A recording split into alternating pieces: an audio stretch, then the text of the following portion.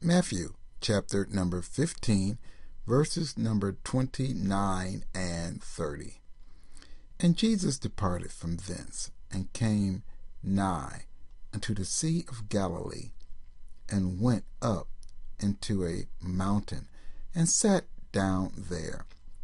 And great multitudes came unto him, having with them those that were lame, blind, dumb, maimed, and many others, and cast them down at Jesus' feet.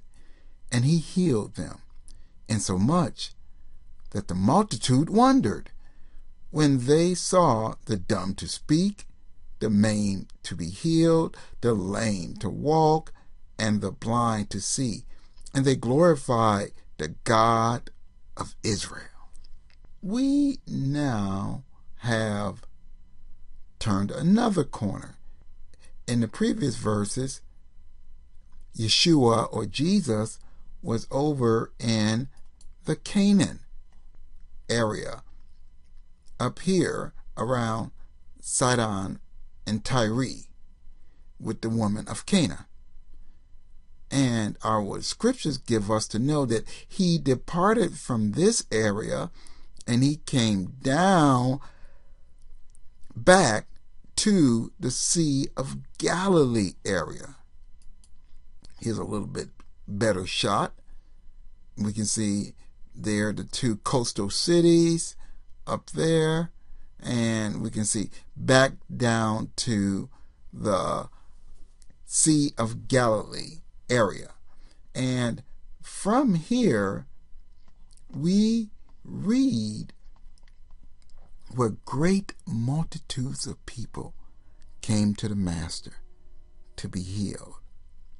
And he healed them, in so much that they were amazed let's pose a simple question. Why did Jesus, or what was one of the reasons that Jesus healed so many people? Well, if we go back and look through the scripture, it was throughout the scriptures. God foretold when he come, when his Messiah come, what he was going to do this is just a few of the verses. Psalms 103 and 3 Who forgiveth all thy iniquity, who healeth all thy diseases.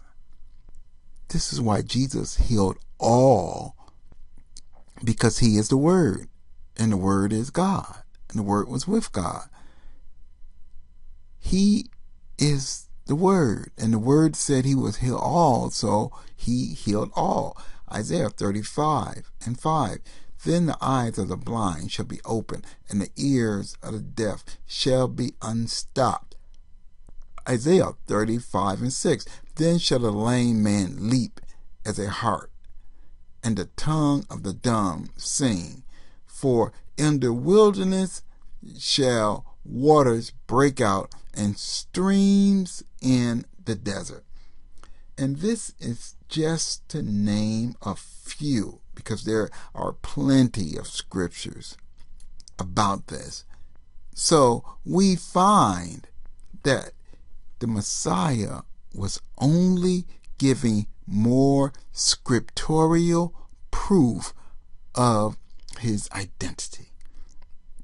He never went around and did a healing campaign where it was, come see the Messiah, come see the Son of God.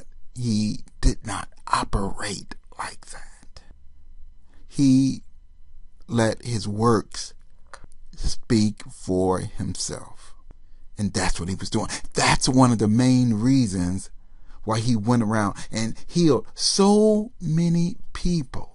Once again, and then this wasn't the main proof that he was the Son of God. The main proof was for him to die and rise again. And he did that also. God, we bless you and we give you glory, honor, and praise. Thank God.